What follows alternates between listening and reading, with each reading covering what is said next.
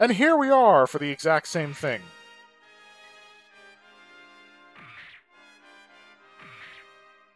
Uh, they had bazookas for this run. Although it's interesting because the bazooka mounts the same as the beam rifle on the back, and yet when you equip the bazooka, it's got two beam rifles when it shouldn't. All right, here we go. Don't hang back. Why is he in a red one again? Oh no, wait, no, that's Char. Got it. Yeah, I know I'm not calling him Quattro, I'm calling him Char. Even though he's not even Char, he's Casval. He is a man of many names. I think Char was the one he wore the longest.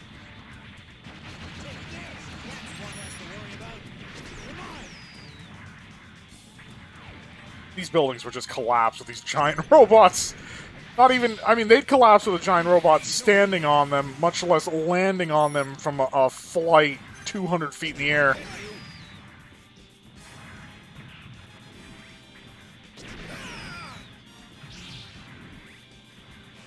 Uh, did I even play Kacricon's route? I don't remember.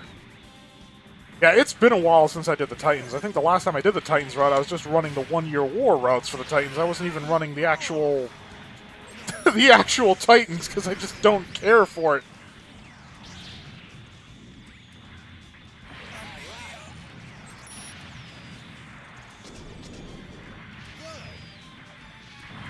Titans were just a faction with no depth. They're the bad guys. We don't like them. Because they have all the properties that we, you know, admonish in people.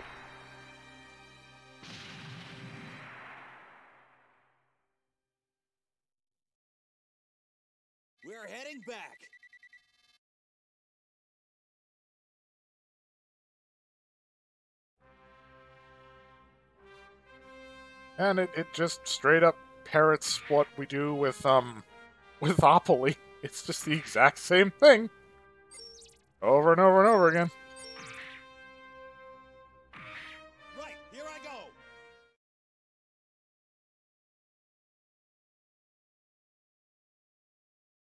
Spread out and attack. So here's the weird part. They give us the red Rick Dias for the next mission, which in the chronology of the series would follow immediately after this mission. And yet, uh, we see our partner mobile suit has the red one. That's that's a bit weird.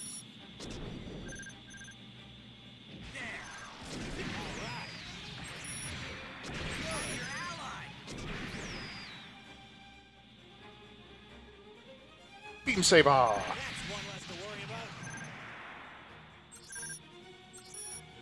Have to upgrade these Rick Dias sooner, though, because Roberto dies earlier on, so his later missions are going to be more difficult than Apolly's. That went nowhere. Sure, cool. I'm not sure the space flex are necessary. Know, the little, little dots that go flying around when you're moving to give you that sense of motion. I, I know when I'm moving. I've got thrusters flaring up. Even though that's actually kind of a bit weird, unless we're constantly accelerating, because, you know, Newtonian mechanics being what they are.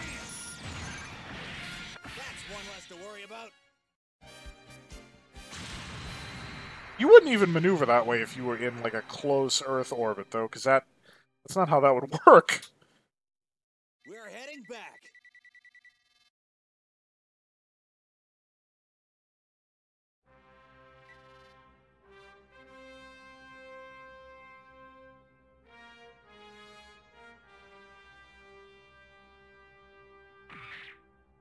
Okay, and now the red one. Yeah, why does it unlock now? That just doesn't make sense. Roberto, ready to launch.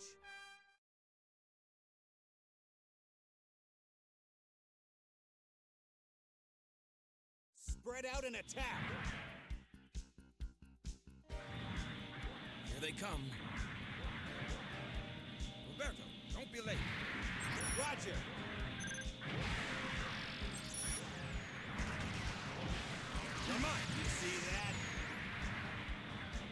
I mean, right here is a good example of a Rick Dom successor mobile suit, because, I mean, the Rick Dias has certainly got the look. Although it doesn't, I mean, so the whole thing with the Rick Dom, or, well, not the Rick Dom specifically, the Dom, was the fact that it had giant jet thrusters in its feet so it could hover. The thing is, by the time of the Gryps conflict here, there must have been some kind of technological thing, because now that's kind of how all mobile suits get around. They just blast their thrusters and sort of ski along the ground. We see that with the Gundam Mark II in Jaburo.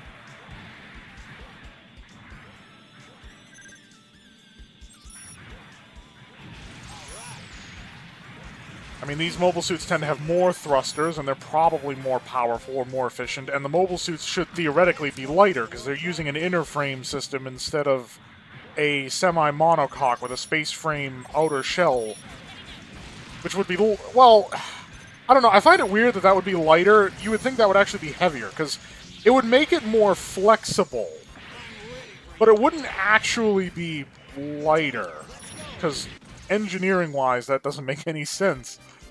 The whole reason we use like space frames and I-beams and latticed bridge support structures is because we can achieve greater strength of the structure with less material and therefore less weight. We're heading back. So it, it's it's odd. It's just strange. I actually got a new type evaluation for that. Okay, sure. And now we have the one mission that isn't in Apolly's route. Because he, well, I swear that it wasn't like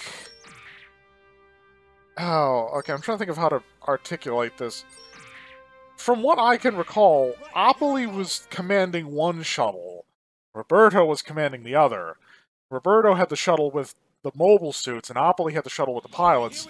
And they they lost the shuttle with the mobile suits and Roberto, and Apolly was able to escape with the pilots because appropriately they determined that the machines can be replaced, but the pilots we need because you can just build more machines. Uh, training, recruiting, getting more pilots is the harder part. But yet this is structured in such a way that Apolly is going to be flying away, but Roberto's flying around his mobile suit because uh, how else would you put it in this game, this particular scene? It wouldn't work. So we have kind of some non-canon creative interpretation for this particular battle. If my memory is serving correctly. Usually does. So do my maths, for the record.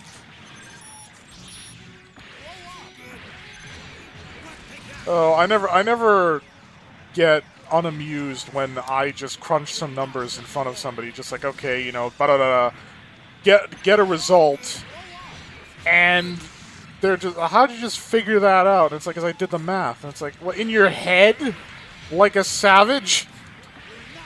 Oh, that's that's a source of endless amusement. Like a savage?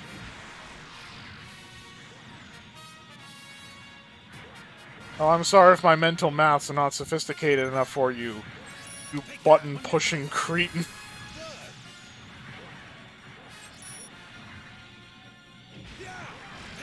The funnier part is when you start getting into um, algorithmic models or e- equational mathematics. Because people just have difficulty understanding that. Like, what what's the function of an equation? It's like, well, it's a logic module. You know, it's used to process numbers, facts and figures from one state to another state. It's it's used for determining inputs and outputs. And and then they just they give you a, a long stare. It's like, yes, but why and how? It's like, what do you mean why and how? I just explain. Uh, the how is basic maths, and the why is so that you can figure out more complex things than 2 plus 2 equals 4. Four,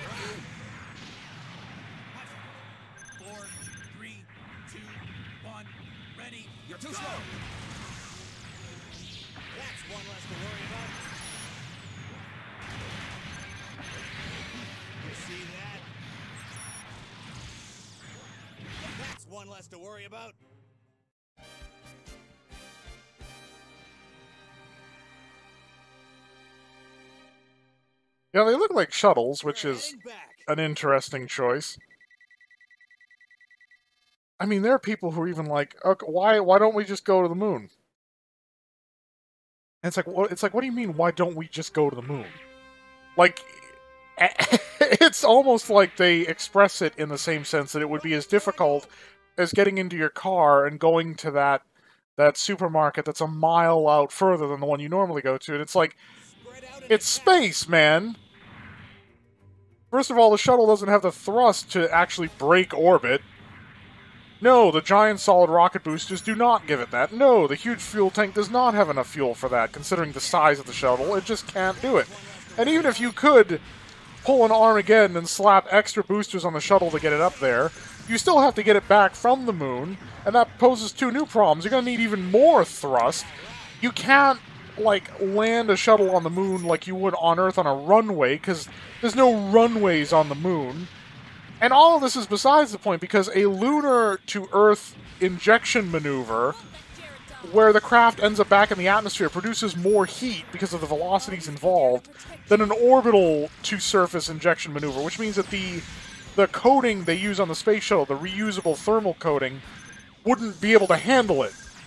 You know, the Apollo command module's coating was actually a sacrificial unit after it had depleted itself because it's ablating.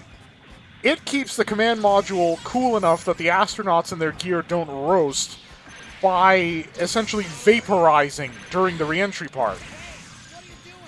And even that aside, the heat shield behind the ablative material still gets so hot that it has to be jettisoned the moment it's done its job, or else the whole thing still roasts. And the space shuttle can't handle that, and it's like, well, can't they just figure that out? And it's like, well, of course they could figure it out. But uh, time is money, and money is time, and who's paying for that? Because I mean, after we made it to the moon, there was a lot less interest in space in general.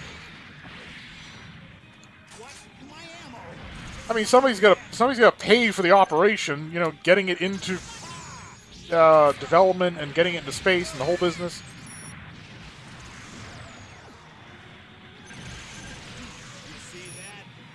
I mean, who knew all that Cold War, you know,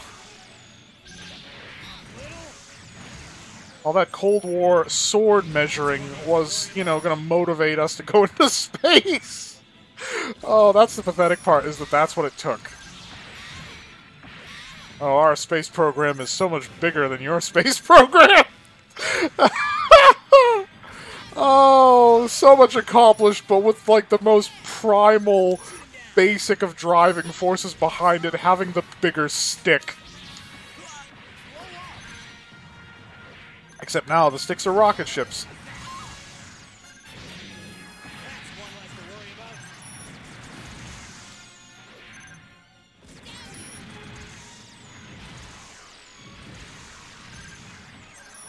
We have landed in Von Braun City. Unless you immediately halt your attack and accept the ceasefire, And Sarah lives again. Not for lack of trying on my part. I feel like they make her tougher in this. Probably because she's the second uh, named character you encounter on the Titan side. Go figure.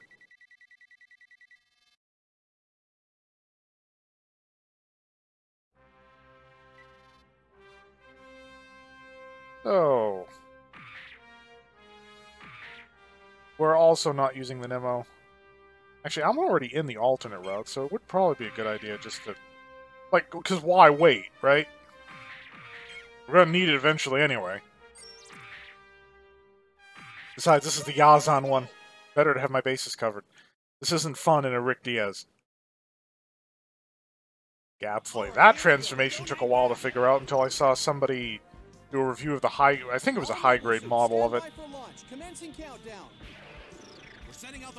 Actually uh, recently saw Adam Savage do his first Gundam build, which was a perfect grade Unleashed RX-78, and he had to get like the whole tested crew in on it to help him out because there's no way they would have been able to do that as a one-day build otherwise.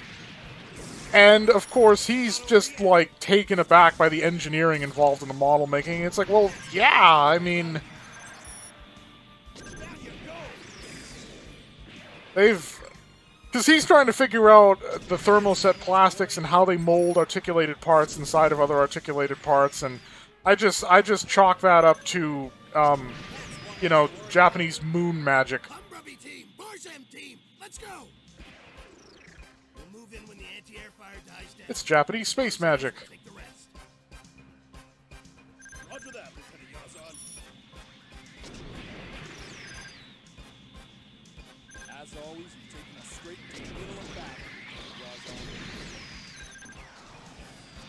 Got perfect grade. You've you've either got to be hardcore into models or hardcore into Gundam to drop, especially if you get multiple, because those things go for like 300 USD. I mean, holy hell!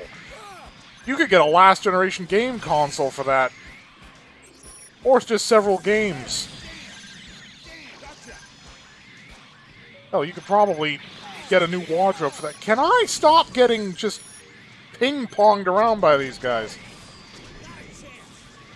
And I can't hit anything.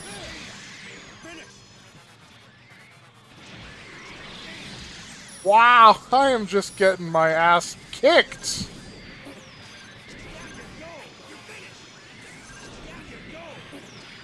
I mean, obviously it helps that my partner here is the Methuss, which is damn useless. There we go. Just gotta thin the field out a little bit, get some room to breathe.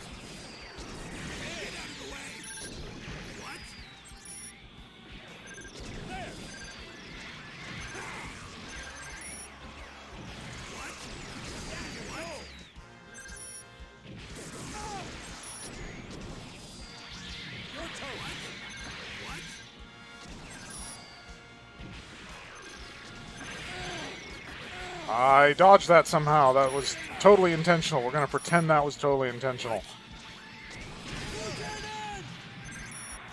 Oh, it's just down to you, Yazan. I heard you like a good scrap. That was some protracted iframes. Ow.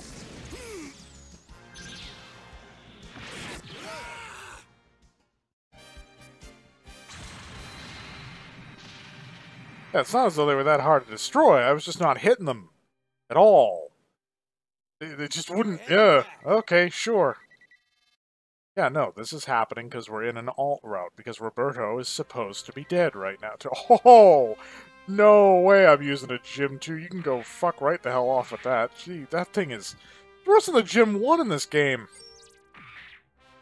And I mean that's that's really bad because the GM is just trash. It's even canonically trash.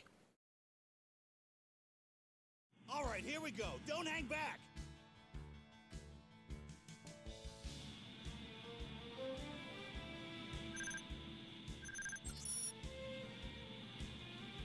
That's one less to worry about. Not a chance.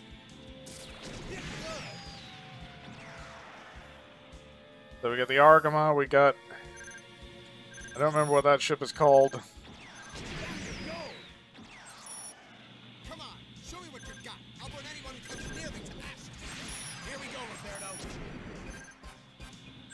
Oh, hey, it's the pleb again.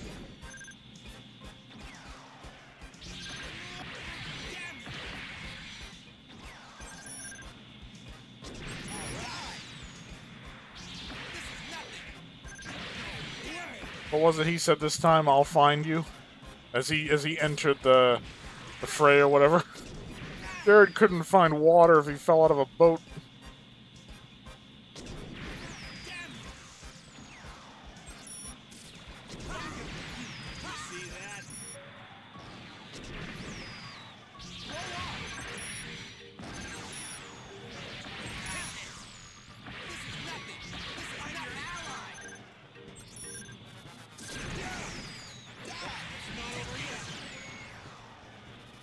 Good the AI doesn't spam the cheap melee attack that the uh, that that can do.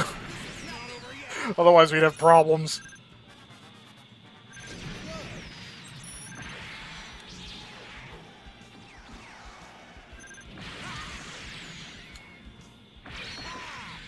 Oh, he actually got to that one before me. I'm just keeping Jerid busy because we, what we have to do is destroy the substantially more mortal mobile suits here.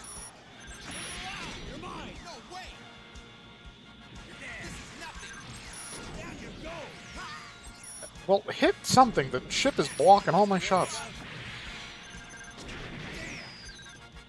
Okay, but how? The hitbox for that is way bigger than it should be.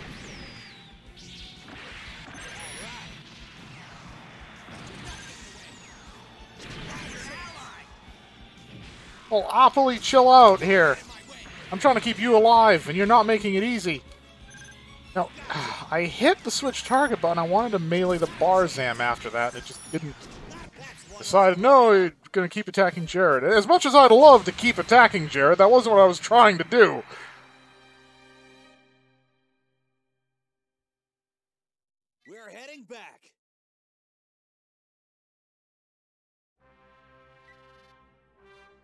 Um, that's a nice touch. The Apolly gets the Gelgoog and Roberto gets the Rick Dom, but no, we're we're staying the course with our mobile suit selection. I didn't upgrade them for nothing. I'm heading out.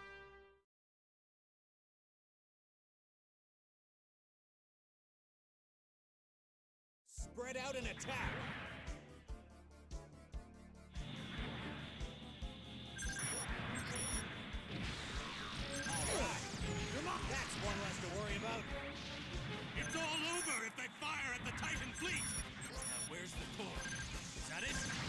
Yeah, we're gonna give them the Gihren. We're gonna. I'm gonna turn that into a, a, a verb. We're gonna give them the Gihren. See, that is the problem when you take your premise too seriously. You don't make obvious inside jokes like when somebody decides to wipe out a fleet with a colony laser. You reference the, the like time that happened in the series. You give them the Gihren.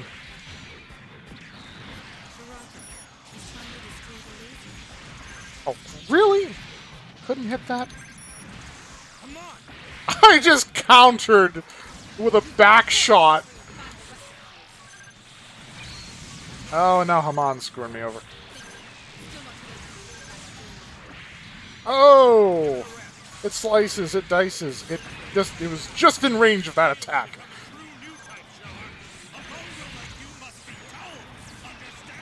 Up Shiraka's bailing. Where are you running? Come back! Ah! Oh! Oh, those funnels have it out for me.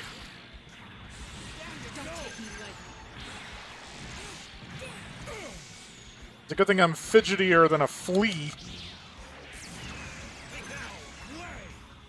Come here, come here. Is there nothing else we can destroy? Do we have to get Haman to bail as well?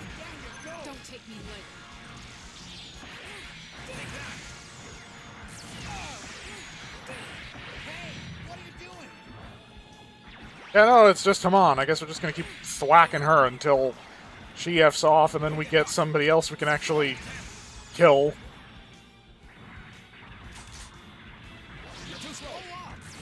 Yeah, the recharging mechanics when you decide to go with the, the red Rick Dias and the beam rifle are interesting because it doesn't recharge in the hand, but it recharges on the back, so you have to make sure to periodically swap that out, or else you'll end up running out of beam charge. And if you get an arm blown off in recover, you can't swap them out, so you end up in the same predicament that the uh, the Gundam Mark II ends up with, where it can't reload We're heading back. And still fire out of them if they're on the back. That's a plus. I'm not sure if it loses its whole arm when that happens, or if it's just like the, the chunky shoulder armor that goes. I'm heading out. Yeah, this will be it for the. Well, I want to say the canonical routes, but technically this character and the other kid, my partner character, are both supposed to be dead. But this will be it for the primary, shall we say, routes in the AU Titans path, which means that when I come back to the AU Titans. Oh, yeah, no, my brain no work. When I come back to this, it will be for the special routes, and we get to start seeing some, some really interesting stuff happening. We've had the meat and vegetables. It's time for the damn pudding.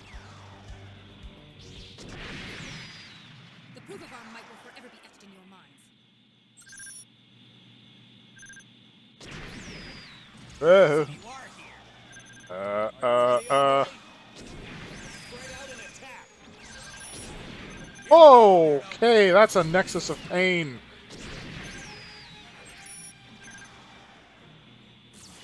Where am I? I'm like flailing around. I'm like using the drunken fist in space. Don't take me lightly. Ow.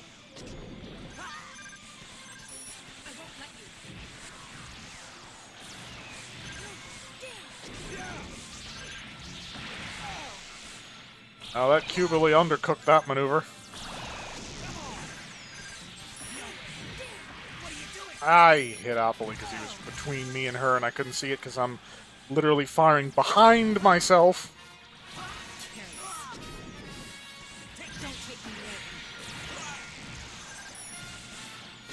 Apolly's getting kind of shreked. They're definitely picking on him more than me. Okay, well that's one fewer Qubeley.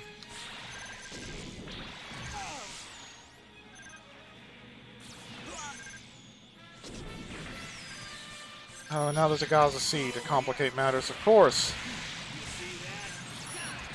Because the boss must have minions. Getting away.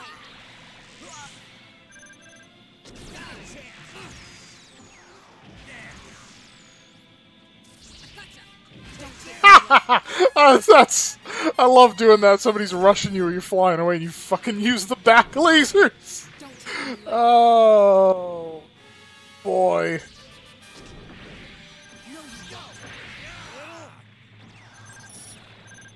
Oh god, the drift. Floating around in space again. Making problems. Oh, and I'm drunken fist in space again. It clearly works. I can't believe that hit.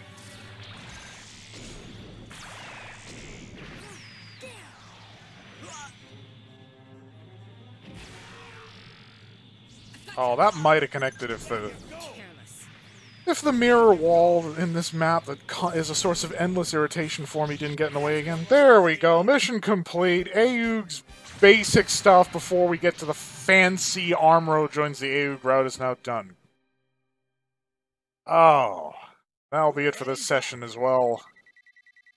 That was three character routes. I don't know the time, but I'm wagering it was probably about an hour and a half, maybe two.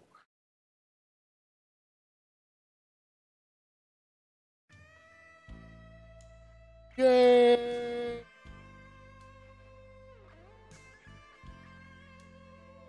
Yeah, well, Zeon's always causing problems.